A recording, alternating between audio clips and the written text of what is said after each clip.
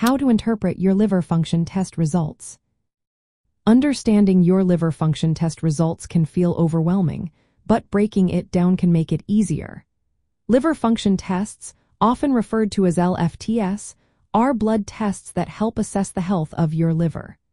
They measure various enzymes, proteins, and substances in your blood, giving insight into how well your liver is functioning.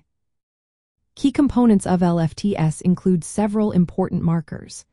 Alanine aminotransferase, or ALT, and aspartate aminotransferase, or AST, are enzymes primarily found in liver cells. If these levels are elevated, it often indicates liver cell injury or inflammation. ALT is more specific to the liver, while AST can also rise due to muscle damage. Another important marker is alkaline phosphatase, or ALP. Elevated levels of ALP can suggest issues with bile ducts, such as obstruction or cholestasis. Gamma-glutamyl transferase, or GGT, is another enzyme sensitive to bile duct problems and alcohol use. A rise in GGT alongside ALP can indicate cholestatic liver disease. Bilirubin is also measured in LFTS.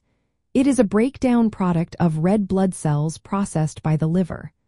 High bilirubin levels can lead to jaundice and may suggest liver dysfunction or bile duct obstruction. Albumin and total protein levels are also important. These proteins are synthesized by the liver, and low levels may indicate impaired liver function. Prothrombin time, or PT, measures how well your blood clots. Since clotting factors are produced by the liver, a prolonged PT can indicate severe liver dysfunction. When interpreting your LFT results, it's essential to look at the pattern and degree of any abnormalities. A hepatocellular pattern, marked by elevated ALT and AST, often points to liver cell injury from conditions like viral hepatitis, alcohol-related liver disease, or even liver cancer. Further testing may be necessary to determine the exact cause. A cholestatic pattern, characterized by elevated ALP and GGT, suggests bile flow obstruction. This could be due to gallstones or tumors affecting the bile ducts. A mixed pattern, where both transaminases and cholestatic enzymes are elevated, may indicate a combination of liver injury and bile duct involvement. The degree of elevation in these tests also matters. Mild abnormalities, which are less than twice the upper limit of normal, may just requiring monitoring.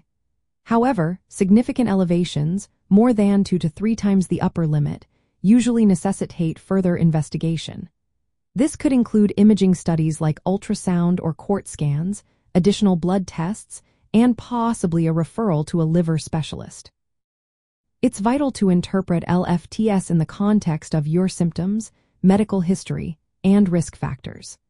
Factors such as alcohol use, exposure to viral hepatitis, or a family history of liver disease can all play a role.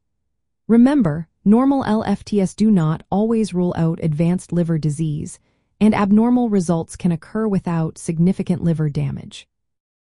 In the context of liver cancer, LFTS can help detect liver dysfunction caused by tumor growth or underlying cirrhosis, but they are not diagnostic on their own.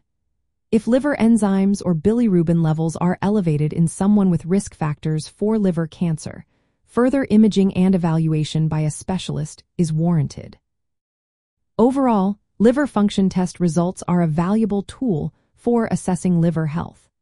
They guide diagnosis and management but must be interpreted carefully alongside clinical findings. If you have persistent or significant abnormalities in your results, it is crucial to consult a healthcare professional specializing in liver diseases for a thorough evaluation and appropriate management.